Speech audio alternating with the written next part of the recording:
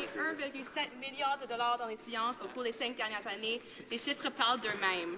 Le Centre national de RMN à Outre-Auchamp pour les solides d'Ottawa est un autre centre de recherche qui risque de fermer à cause des compressions aveugles des conservateurs. Construit en 2005, il manque toujours 200 000 dollars pour assumer les frais d'opération annuels. Si le centre ferme, moins de 10 ans après son ouverture, c'est 12 millions de dollars qui auront été gaspillés. Pourquoi les conservateurs sont-ils d'aussi mauvais gestionnaires? Madame la ministre d'État.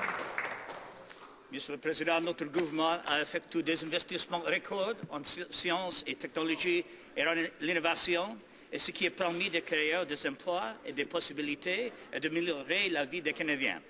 Le Conseil national de recherche du Canada est parvenu à un accord avec l'Université d'Ottawa pour s'assurer que les travaux de recherche se poursuivront à court terme au Centre national de résonance magnétique nucléaire à ultra-haut champ pour le solide.